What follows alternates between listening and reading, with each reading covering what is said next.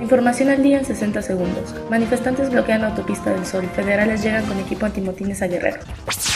Enrique Peña Nieto y Obama conversan vía telefónica sobre alivio migratorio y refrendan cooperación bilateral. Padres de normalistas cancelan reunión con autoridades. Consideran que Federación no ha tomado con seriedad el tema. Recibirá Asamblea Legislativa el paquete económico 2015 para la Ciudad de México el próximo domingo. La Ciudad de México será sede de la reunión C40 en 2016.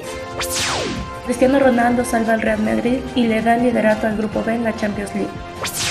Senadores de Estados Unidos piden a Kerry colaboración con México por caso Ayotzinapa. Alrededor de 200 personas son detenidas en Estados Unidos tras protestas por caso Brown. OMS revela que cerca de 16.000 personas están contagiadas de ébola. Policía de Hong Kong detiene a 116 manifestantes en desalojo. Encuentra esta y más información en los portales de Círculo Digital.